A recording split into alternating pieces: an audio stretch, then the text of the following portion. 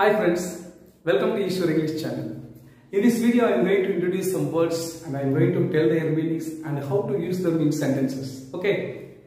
See, the first word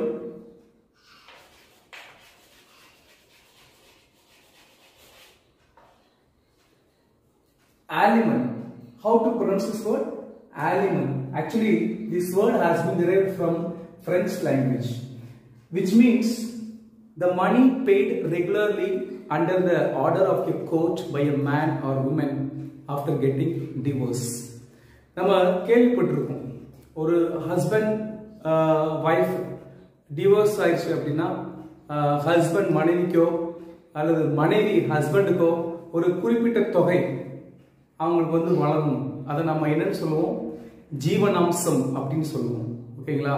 so அந்த ஜீவனாம்சம் அப்படிங்கிறதுக்கு இங்கிலீஷில் alimony. Okay, let's see the second word.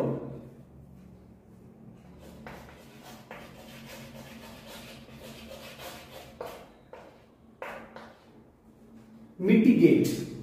What is mean by mitigate? Mitigate means make less severe. அப்படின்னா for example நம்மளுக்கு பயங்கரமாக பயங்கரமான ஒரு உடல்ல வந்து வழி இருக்கு ஸோ அந்த வழியை தீக்கிறதுக்கு ஏதாவது ஒரு மெடிசன் வாங்கி சாப்பிட்றோம் அந்த மெடிசன் சாப்பிட்ட உடனே அந்த வழி கொஞ்சம் குறைஞ்சிருச்சு அப்படின்னா அது எப்படி சொல்லணும்னா சரி sentence that medicine mitigated the pain அப்படின்னு நம்ம சென்டென்ஸ்ல திங்க் பண்ண சொல்லலாம். அதே மாதிரி யாராவது ஒருத்தவங்க வந்துட்டு ரொம்ப கோபமா இருக்காங்கன்னு வச்சுக்கோங்க. ரொம்ப கோபமா கோபமா இருக்காங்க. அவங்கள போயிட்டு நம்ம அவங்களுடைய கோபத்தை தணிக்கிறது மாதிரி நம்ம ஏதாவது ஒரு ஆறுதல் சொல்றோம் அல்லது ஏதாவது ஒரு அட்வைஸ் பண்றோம் அப்படின்னா அது கூட நம்ம இதை யூஸ் பண்ணிக்கலாம். So I mitigated his anger அப்படின்னா நான் அவருடைய கோபத்தை நான் தணிச்சேன் அப்படின்னு ஸோ தணிக்கிறதுன்னு சொல்றோம் இல்லையா? ஸோ அதுதான் வந்து mitigate okay actually it is a verb and alimony it is a noun okay mister Suresh is paying alimony to his former wife அதாவது அவனுடைய மிஸ்டர் சுரேஷ் அவனுடைய முன்னாள் மனைவிக்கு அதாவது விவாகரத்து செய்யப்பட்ட மனைவிக்கு வந்துட்டு அவர் ஆலிமணி கொடுத்துட்டு இருக்காரு அதாவது ஜீவன் அம்சம் கொடுத்துட்டு இருக்காரு அப்படின்னு சொல்லி சொல்லுவோம் okay so next word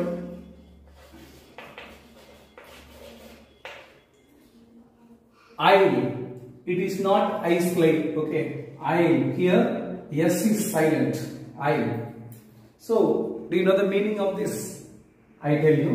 See, um, if you visit a theater or a stadium, auditorium means there is a space between the rows of chairs or seats, you know.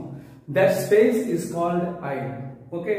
நம்ம தேட்டருக்கோ அல்லது ஸ்டேடியம் ஆடிட்டோரியத்துக்கு போனோம் அப்படின்னா இந்த சைடு வரிசையா chairs இருக்கும் அல்லது seeds இருக்கும் அதே மாதிரி இந்த சைடு வரிசையா சீட்ஸ் இருக்கும் அதுக்கு இடையில ஒரு பாதை இருக்கு இல்லையா? நடைபாதை இருக்கு இல்லையா? ஸோ அந்த நடைபாதை தான் நம்ம ஆயில் அப்படின்னு சொல்லி சொல்றோம். Okay it sentence for example my father is walking on the aisle in the theatre அப்படின்னு சொல்லலாம் அதாவது நம்ம குடும்பத்தோட சினிமா பார்க்க போயிருக்கோம். அப்போ அப்பா வந்து நமக்காக ஐஸ்கிரீம் வாங்கிட்டு வந்து நம்ம எல்லாம் சேர்ல உட்காந்துட்டு இருக்கோம். அப்பா வந்து ஐஸ்கிரீம் வாங்கிட்டு வந்துட்டு இருக்காரு. அந்த வழியா தான் வருவாரு இல்லையா? So my father is walking on the aisle இந்த தியேட்டர் அப்படின்னு சொல்லி சென்டென்ஸ் சொல்லலாம் ஓகே அடுத்த ஒரு word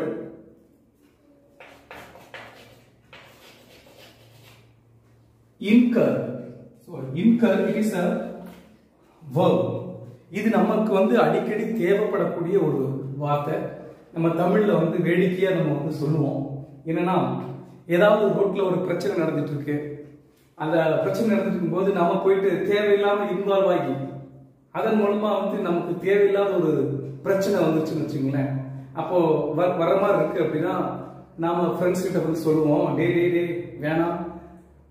வேலியில போற ஓனாய அப்படின்னு சொல்லுவாங்க இல்லையா? அந்த பழமொழி என்னன்னு நீங்க கேட்டு தெரிஞ்சுக்கீங்க. ஸோ அதை நான் சொல்ல விரும்புறதில்ல.